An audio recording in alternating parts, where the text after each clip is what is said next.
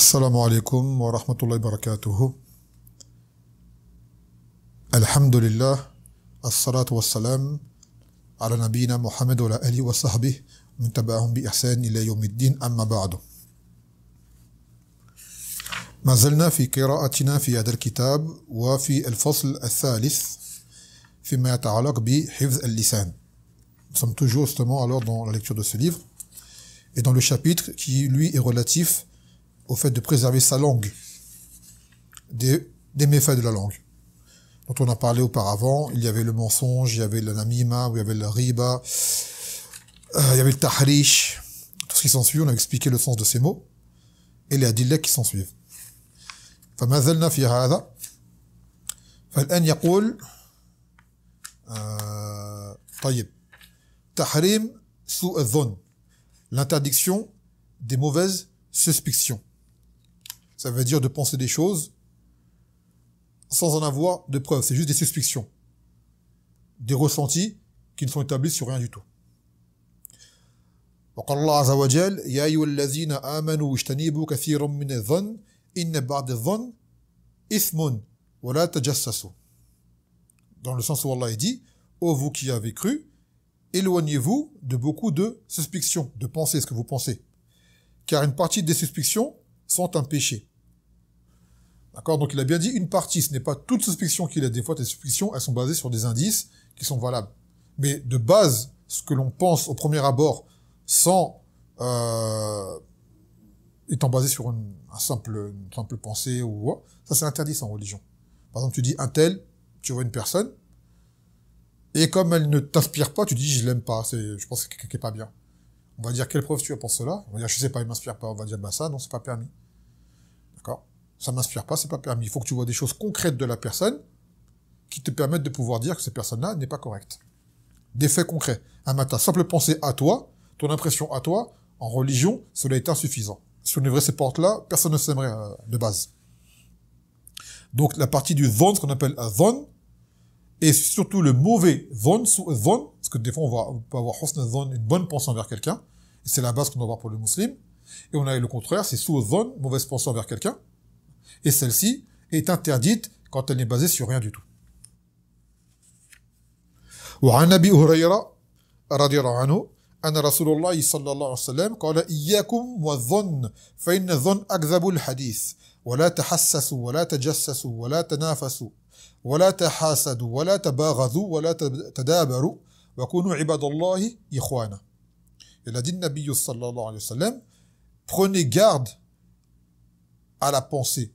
à la suspicion. Car cette suspicion est ce qu'il y a de plus mensonger comme parole. Et ne vous épiez pas, et ne vous espionnez pas, et ne vous concurrencez pas, et ne vous jalousez pas, et ne vous détestez pas, et ne vous tournez pas le dos, et soyez des serviteurs d'Allah en toute fraternité. Donc tout cela, c'est parmi les caractéristiques du musulman qui appelle à l'union et à l'harmonie. Chose qui est la base entre nous. Donc il a dit de prendre garde justement aux suspicions. Car ces suspicions-là sont ce qu'il y a de plus mensonger comme, comme parole. Quand tu penses quelque chose de quelqu'un, étant basé sur rien, et là il part du sous hein, qui est la mauvaise suspicion bien sûr, hein, la mauvaise. On ne faut pas s'y fier. D'accord? On critique les gens pour ce que l'on ressent en nous. Il a dit wala tahassasu. Et il a dit également wala tajassasu. Ces deux termes-là, tajassasu wa tajassasu, c'est comme islam et iman.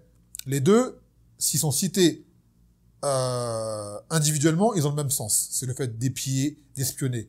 Et quand ils sont cités communément, il y a une petite différence. Tahassus, c'est le fait d'espionner. C'est-à-dire, tu surveilles ce que les gens y font. Sans leur accord, comme ça.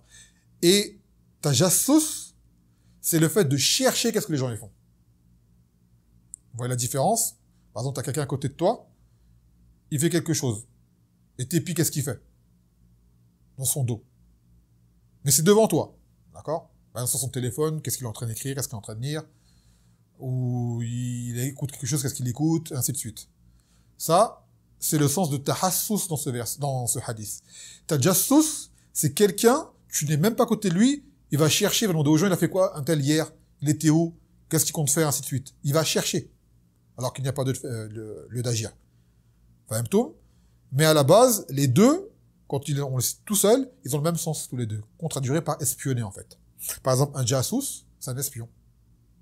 Un jassous, en arabe, c'est un espion. Après, il a dit, voilà, tanafasu. Ne vous concurrencez pas. Dans quel sens? Dans les choses qui amènent au bien mondain et non pas dans la religion. Car dans la religion, c'est une chose qui est demandée.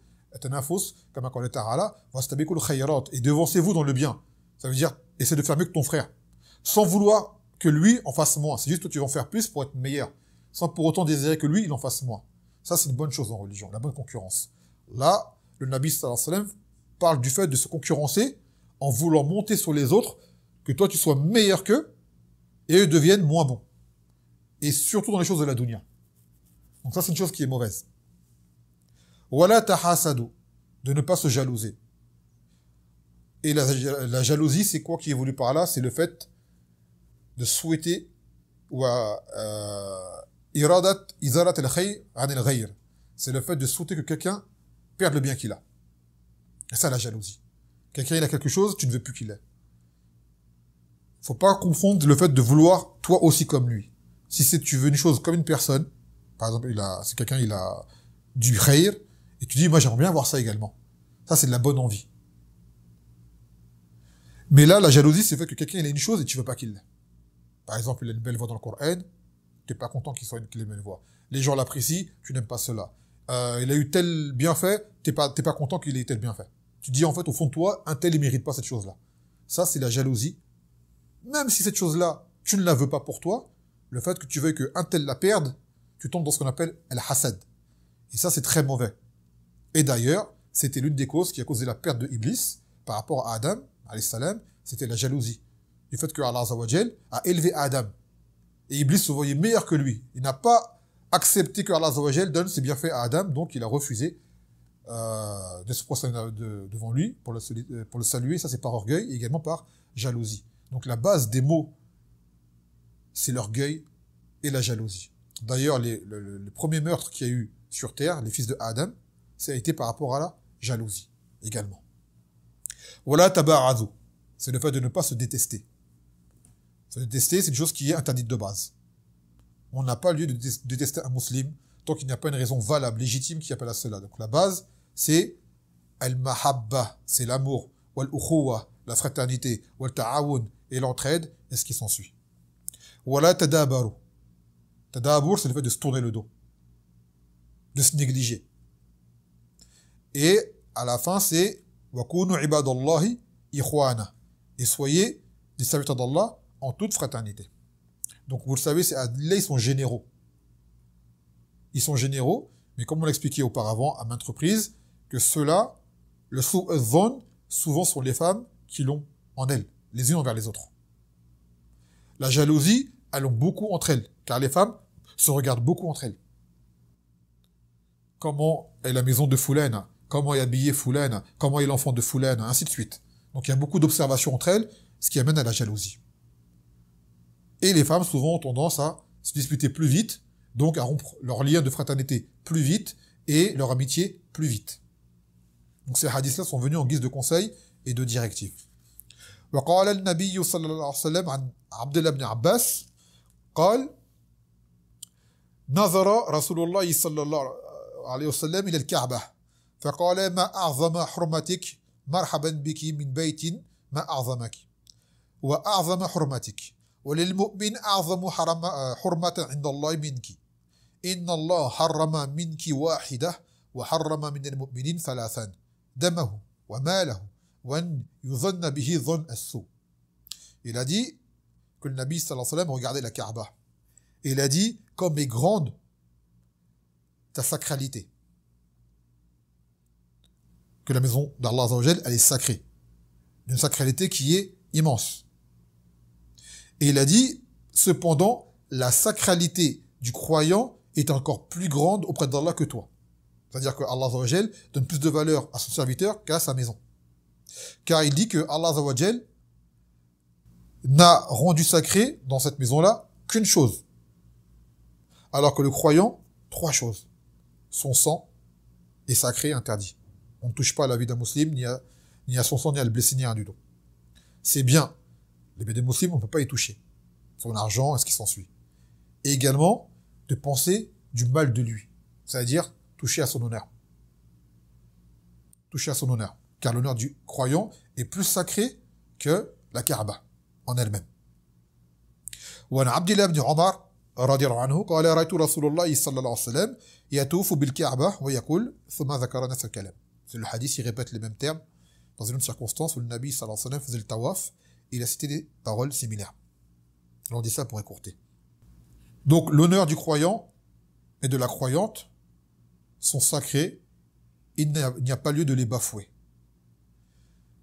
Tant qu'il n'y a pas de raison légitime, comme par exemple quelqu'un qui extériorise lui-même ses péchés. Ce qu'on appelle le fasik, le pervers. Lui, c'est autre chose. Quelqu'un, par exemple, qui boit de l'alcool ouvertement. Quelqu'un qui a des relations avec des femmes illicites ouvertement. Quelqu'un qui fait des péchés ouvertement. En connaissance de cause. Là, c'est lui-même qui, qui boit son honneur devant les gens. C'est autre chose. Mais le fait d'aller chercher, ce que les gens font en cachette, en privé, ou le fait de penser du mal d'eux sans raison, ça, ça entache à leur honneur. Ce n'est pas permis.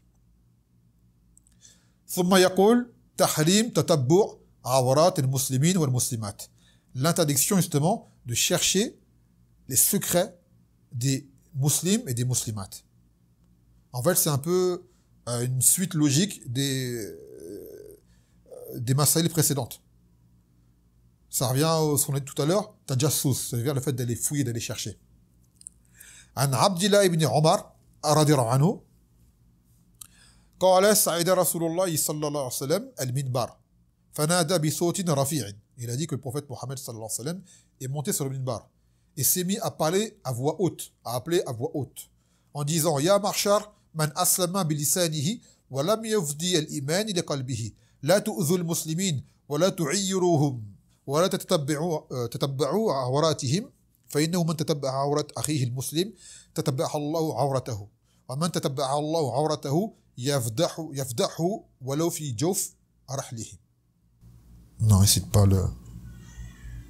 Étrangement, il n'a pas cité la référence. Je crois que c'est Moutafkouna Ali, le hadith. Il a dit que le prophète sallallahu alayhi wa sallam, justement, sur le minbar, il a dit, ô vous qui avez, qui vous êtes soumis par votre langue, c'est-à-dire, par la langue, vous avez dit la shahada ou quoi, mais dont la foi n'est pas encore, n'a pas encore introduit le cœur. Donc là, c'est l'islam en apparent. Ne nuisez pas aux musulmans. Ne les critiquez pas c'est-à-dire en cherchant leurs euh, défauts. Et ne cherchez pas leurs secrets, c'est-à-dire les choses qui se passent hein, dans l'intimité. Car celui qui cherche les défauts privés de son frère, Allah découvrira les siens et le dévoilera aux yeux de tous, même dans le cœur de sa maison. Ce qui fait à l'abri de tout le monde, Allah va le dévoiler. Pourquoi Pour du fait que lui-même agit de la sorte avec les autres croyants. وذكر كلاما الشيخ العباد قال هذا يدل على أن من يفعل مثل هذه الأفعال عنده نقص في الإيمان أو عنده نفاق والجزاء من جنس العمل الشيخ العباد حفظه الله تعالى il dit dans son char de Ibn Abi euh, Sahih Abi Daoud il dit que cela prouve que celui qui agit de la sorte il a sa foi il a un manque dans sa foi parce que le Nabi il a dit celui dont la langue s'est soumise mais pas encore dans le cœur donc ça veut dire que sa foi n'est pas encore euh, on va même pas dire complète, mais n'est même pas, peut-être même pas présente pour certains.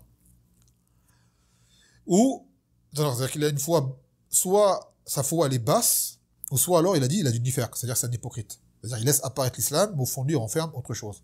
Et ça peut être l'hypocrisie qui est irtiqadi, la majeure, celle qui est la pire, et l'hypocrisie qui est mineure, c'est-à-dire celle qui regroupe des caractéristiques mensongères de la personne. Il laisse apparaître le contraire de ce qu'il renferme. Celui qui est de la sorte est soit une personne qui a la foi très basse, ou soit une personne qui a de l'hypocrisie. Et malheureusement, aujourd'hui, vous avez des gens, subhanallah, ce sont eux-mêmes qui exposent leurs péchés, qui à la base se font en privé, ils les exposent en public. C'est devenu un phénomène même de mode à travers les réseaux sociaux. Tu les vois en train de se filmer, en train de faire des choses qui à la base, c'est des choses qui sont impudiques et ils les étalent devant tout le monde. Donc ces personnes-là, comme on l'a dit tout à l'heure, sont eux-mêmes qui ont taché leur honneur. Donc eux parler sur leurs faits exposés, qu'ils ont exposés eux-mêmes. Hein. Je ne dis pas que c'est vous qui allez exposer leurs faits à eux. Ce sont eux-mêmes qui le font. Tu les vois en train de se filmer, en train d'écouter de la musique, tu les vois en train de se filmer, en train de commettre des péchés devant tout le monde, peut-être même sans vanter ou autre. Eux, ces gens-là, ce sont eux-mêmes qui se sont exposés. Quant à ceux qui le font en privé, ils savent que c'est une faute. Nous, on n'a pas à les chercher et après à montrer aux gens ce qu'ils ont fait. S'il s'avère qu'un jour tu vois que ton frère a commis tel péché ou quoi ou quoi, mais tu sais qu'il le fait en cachette, ne va pas le dévoiler aux gens. Va le conseiller lui. Mais ne le dévoile pas aux gens. Tant que son péché ne nuit qu'à lui-même. Un exemple, tu as vu un frère qui se cache en train de fumer. Par exemple. Eh ben lui, tu vas le voir, tu le conseilles. Il va pas dire à tout le monde foule il fume. Lui-même se cache, tu n'as pas le droit. Maintenant, si c'est quelqu'un qui a un péché qui nuit aux autres, par exemple, c'est un voleur, c'est un escroc, ce genre de choses, alors lui, tu peux, lorsqu'il y a un besoin, mettre en garde contre son mal, car son mal va atteindre autrui. Mais celui dont le mal ne touche qu'à lui-même sa propre, sa propre personne, mais qui le fait en cachette, laisse-le, ne le dévoile pas aux autres tout le monde. Mais conseille-le par contre. Conseille-le et appelle-le à arrêter. ويقول ونظر عبد الله بن عمر إلى البيت يوما إلى البيت أو إلى الكعبة فقال ما أعظمك وأعظم حرمتك والمؤمن أعظم حرمة عند الله منك Là, c'est un phare de Ibn Omar qui est équivalent au hadith rapporté tout à l'heure qu'on a dit, qu'il a dit qu'un jour, il regardait la Kaaba et il a dit Comme est grande et immense sa sacralité, cependant celle du croyant est plus grande auprès d'Allah que toi. Donc regardez les gens comment ils sont autour de la Kaaba. Pour ceux qui font la Umrah, le Hajj. Les gens, ils pleurent devant la Kaaba. Même ils font des transgressions en se frottant à la Kaaba, en cherchant à avoir de la baraka sur la Kaaba. Et autres. Ça veut dire ils ont ils magnifient la Kaaba à un point, des fois, qui est au-delà des limites légiférées. Ça arrive à stade même des fois d'exagération. Quoi qu'il en soit, regardez comment les gens sont face à la Kaaba. Eh bien, sachez que auprès d'Allah notre honneur est encore plus grand auprès de lui que celui de la Kaaba. Demain, tu verras par exemple quelqu'un, un exemple, hein, cracher sur un musulman. Il va dire c'est pas bien, voilà. On voit quelqu'un cracher sur la Kaaba, il va, il va exploser. Pour lui, c'est inadmissible. Eh bien, à la base, cracher sur un musulman devrait être pire à nos yeux que le faire sur la Kaaba. Vous voyez? Il verrait demain quelqu'un lancer une pierre sur la Kaaba, les gens ils vont être offusqués. Ils vont quelqu'un jeter une pierre sur un musulman, ils vont dire c'est pas bien, mais bon, voilà. Eh ben, faire du mal au musulman est encore plus euh, nuisible que de le faire à la Kaaba. La Kaaba, c'est à la base ce qu'on a aujourd'hui. C'est pas le Nabi sallam qui l'a construite. D'accord? Elle représente ce qui a été fait de base, mais la Kaaba qui a aujourd'hui, là, c'est une créature qui a été bâtie de la main de l'homme. Mais son emplacement et son symbole revient à ce que vous connaissez. Et vous savez que la Kaaba sera détruite à la fin des temps. La Kaaba sera détruite à la fin des temps. Vous voyez? Sauf que le croyant, lui, il finira par mourir, mais par la suite, il sera jugé et le croyant ira au Jannah. La Kaaba va disparaître, c'est fini. Donc le croyant a plus de valeur par de la Kaaba. Il ne faut pas que les gens ils inversent les choses, ils mettent des valeurs là où il y en a moins, et réduisent des valeurs là où il faut les mettre.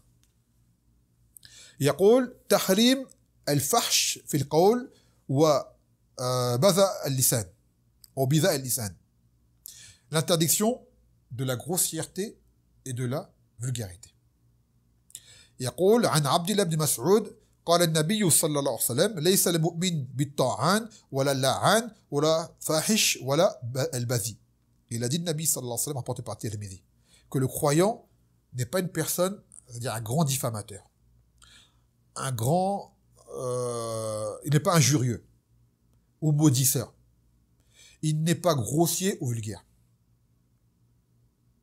C'est-à-dire que le croyant, véritablement croyant, n'agit pas de la sorte. Cela ne veut pas dire que celui qui agit de la sorte, c'est pas un croyant. Mais il aura une foi qui sera plus faible. ويقول الشيخ العثيمين وهذا يدل على أن هذه الأمور نقص في الإيمان وأنها تصلب عن المؤمنين حقيقة الإيمان وكمال الإيمان Il a dit, Cheikh Al-Uthaymin, que ces choses-là, ce genre de comportement, d'agissement, sont un manque de foi de la personne. C'est-à-dire que la foi réelle n'a pas encore été atteinte par cette personne-là. Et on envoie des gens à, à comment dirais-je, à une multitude de gens qui malheureusement agissent de la, de sorte. Ils sont vulgaires, ils sont grossiers, dès qu'ils sont en colère, ils insultent. Des insultes qui sont vraiment des paroles impudiques, indignes d'un croyant. Ça insulte les mères, ça insulte les pères, ça insulte la, généalogie. D'accord? Tu vas le voir au masjid faire la salat, et lors de, des disputes, tu vas, auras l'impression de voir quelqu'un d'autre, en fait. Et ça revient à ce qu'on disait la dernière fois dans les signes du monafiq. Lorsqu'il entre en litige, il devient outrancier. Il dépasse les limites. Ben, les gens comme ça, c'est une des caractéristiques du nifaq, de l'hypocrisie, qui est mineure. Tu vas parler à ton frère, ou une sœur parler à une sœur, et après, ça y est, c'est la vulgarité qui va sortir de la bouche. Insultes. Et insultes qui sont vraiment à un niveau qui sont incroyables. Donc le croyant n'est pas comme ça. Quand il parle, il pèse ses mots. Il fait attention à ce qu'il dit et comment il s'exprime. يقول ثالث عشر تحريم اللعن donc maintenant c'est l'interdiction de maudire اللعن بمعنى السب وبمعنى الإبعاد عن رحمة الله تعالى donc là, ce qu'on appelle le la'an ça va avoir deux sens à la base la la'an en arabe le sens linguistique c'est l'insulte injurier quelqu'un l'insulter et le sens légiféré ça va être le fait de sortir quelqu'un de la rahma d'Allah Azzawajal. D'accord Quand tu dis la'natullah alayk, qu'Allah te maudit, c'est-à-dire qu'en fait qu'Allah te sorte de sa miséricorde. يقول عن ثابت ابن الضحاك رضي الله عنه عن النبي صلى الله عليه وسلم قال لعن المؤمن كقتله متفق عليه donc selon Thabit ibn Dahak le sahabi anhu, le prophète sallallahu alayhi wa sallam a dit que maudire le croyant c'est comme le tuer le maudire ça revient à le tuer. Donc cela montre que c'est parmi les kaba'ir. ويقول الشيخ عبد المحسن العباد حفظه الله تعالى واللعن يكون لمن يستحقه وقد جاء في النصوص الكتاب والسنة اللعن بالأوصاف كقول الله تعالى لعنة الله على الكاذبين Il a dit la malédiction que l'on va le prononcer, ça pour quelqu'un qui la mérite de base. Et dans le Coran et la Sunna, cette malédiction est venue que par un descriptif. C'est-à-dire des gens, selon leur comportement, ont été maudits, et non pas des gens pour leur personne directement, nommément parlant, hormis des koufars. Et même le kafir, tant qu'il est vivant, tu ne peux pas le maudire, car tu ne sais pas comment il va finir. Il se peut que demain, entre en islam. Par exemple, dans le Coran, Allah, il dit, La'natullahi al Que la malédiction d'Allah, ça sont les menteurs. Demain, tu vois une femme parler avec une femme et la sœur se met à mentir. Elle dit pas qu'elle te maudisse parce qu'elle a menti. Mais elle peut dire qu'elle a maudisse les menteuses. C'est-à-dire qu'elle fait une malédiction générale par la description. Comme ça, la personne qui a menti, elle se rend compte de la gravité de ce qu'elle a fait et elle peut se rattraper. Elle dit, là, j'ai menti, Allah, il maudit les menteurs. Elle fait tout bas. Mais quand tu as quelqu'un qui arrête maudisse, la personne va dire, elle va se mettre en colère. Comment tu me maudis? Et ça va empirer son cas, en fait. Ça, ça pas la personne à ce qu'elle puisse se rattraper et se corriger. Et en même temps, tu te permets, toi, de dire que Allah sort cette personne-là de sa rahma. Chose qui n'est pas le cas. Tu ne sais pas, ce jugement-là ne revient pas à toi, il revient à Allah. Donc toi, tu fais quoi? Tu maudis l'acte, du moins la personne qui agit de la sorte de façon générale. Quelqu'un vole. Tu dis pas qu'Allah te maudisse, tu dis qu'Allah maudisse les voleurs.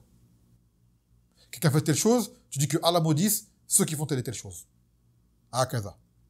Maintenant, il y a eu un khilaf, comme le cite Cheikh Uthaymin, il dit « Amma بالعين فكثير من العلماء يقولون لا يلعن المعين لأنه لا يدرى ما هو نهايته. Je reprends, je vous disais que Cheikh Uthaymin disait que beaucoup de savants disent que on ne peut pas maudire une personne en elle-même. C'est-à-dire qu'en fait, c'est une, une, question à divergence. Et les ulama disent que c'est permis, dans certains cas, car le prophète sallallahu alayhi wa sallam a déjà entendu les sahaba maudire d'autres, il n'a pas interdit le fait de maudire en soi, mais de ne pas le faire car cela pouvait et des chétans sur la personne, comme cet homme qui buvait de l'alcool, qui a été ramené auprès du Nabi sallallahu alayhi wa sallam. il avait déjà bu auparavant, il avait récidivé dans le fait de boire de l'alcool. Donc là, le Nabi sallallahu alayhi wa sallam a ordonné que la sentence sur lui soit appliquée, qui était le fait de le frapper.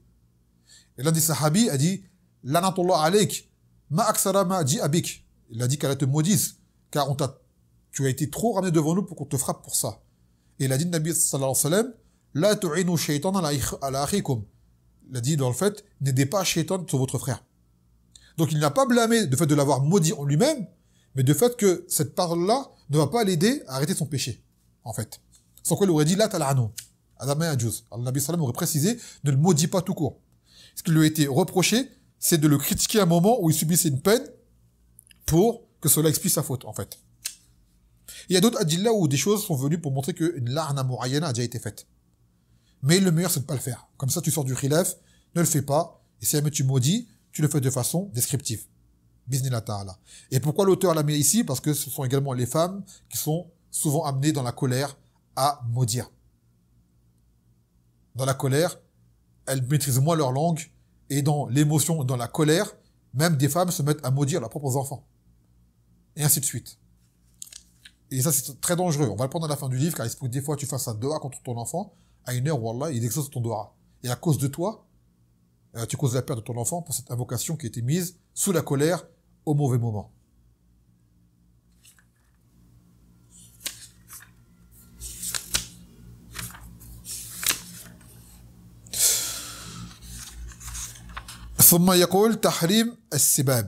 l'interdiction d'insulter. L'interdiction d'insulter. Et ça revient à la suite de ce qu'on dit tout à l'heure. Quand Allah subhanahu wa ta'ala والذين يؤذون المؤمنين والمؤمنات بغير ما اكتسبوا فقد يحتملوا بهتانا وإثما مبينا que ceux qui ont nuit aux croyants et aux croyantes de façon illégitime, c'est-à-dire parce qu'ils n'ont pas mérité, ils auront certes endossé un grand péché. Et ils auront forgé un mensonge. T'en prendre un croyant injustement, lui reprocher ce qu'il n'a pas fait, dire de, de, lui ce qu'il n'a pas dit, ou lui imputer des choses qu'il ne mérite pas, amène justement à rentrer dans ce verset-là. وعن عبد الله بن مسعود رضي الله عنه قال رسول الله صلى الله عليه وسلم سباب المسلم فسوق وقتاله كفر que insulter le croyant est de la perversion et de le combattre cela est de la mécréance al-fusuq qu'en est-il c'est ça le shahid qu'insulter le musulman c'est du fusuq du fisq. Ou le fisq, c'est le khuruj an ta'atillah. Le fisq, ce qu'on appelle la perversion, qu'on appelle un fasiq, c'est quelqu'un qui est sorti de l'obéissance à Allah Et le fisq peut être de deux sortes, majeur ou mineur. Ça peut être fisq par rapport au ma'asi, tu restes un croyant mais avec du fisq, et ça peut être le fisq majeur qui est, qu'on appelle de la mécréance. Comme a ta'ala, وَمَنْ لَمْ يَحْكُمْ بِمَا أَنزَلَ اللَّهِ فَأُولَٰئِكَ هُمُ الْفَاسِقُونَ que ceux qui ne jugent pas parce qu'Allah fait descendre sont ceux-là les pervers. Cette perversion peut être mineure et peut-être majeure, selon le détail sur la question qui est un autre sujet. Quoi qu'il en soit, le minimum du fisc reste quand même une chose qui est gravissime. Donc, on n'insulte pas un croyant. De base. Maintenant, il y a des moments où cela peut être permis, dans des cas exceptionnels. C'est comme tout à l'heure on disait, le fait que sa vie est sacrée. La vie du croyant, on ne peut pas la toucher.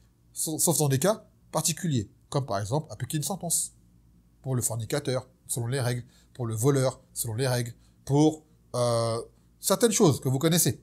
Par exemple, boire de l'alcool, comme on a, dit tout à l'heure, ce sahabi qui a bu de l'alcool, il s'est fait frapper. Et ainsi de suite. Et il a dit le fait de le combattre et de la mécréance. Est-ce que combattre un croyant est de, de la mécréance qui sort de l'islam? Non, ce hadith-là veut dire quoi en fait? Mécréance mineure. C'est la mécréance mineure. Car dans le Coran, elle a dit Si jamais deux groupes de croyants se combattent, alors réconciliez entre eux.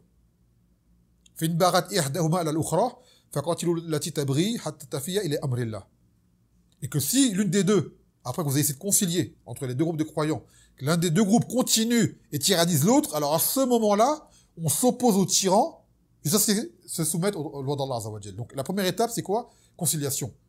Donc, ce qui prouve que lorsque les croyants se combattent, ce n'est pas de la mécréance majeure.